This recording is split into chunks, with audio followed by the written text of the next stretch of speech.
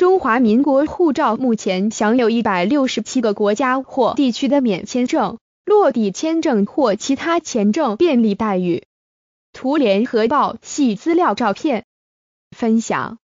汤姓男子等十人涉嫌将护照转卖中国变造护照集团，从中牟利新台币数千元。有中国民众到英国持中华民国护照偷渡，案件才曝光。检方今天将汤南等十人依违反护照条例罪嫌起诉。台湾台中地方检察署起诉书指出，内政部移民署国境事务大队接获情资，指出有中国民众持中华民国护照到英国冒用进行偷渡，除中国偷渡客被逮捕，英国联络官并提供我国遭冒用的护照名单。案件经国境事务大队向台中地检署报告侦办，检方查出汤南等十人民国一百零四年到一百零五年间，各自到外交部中部办公室申办护照，在与身份不详的中国变造护照集团成员接洽，相约到咖啡店以新台币五千元到六千元不等的价格贩售，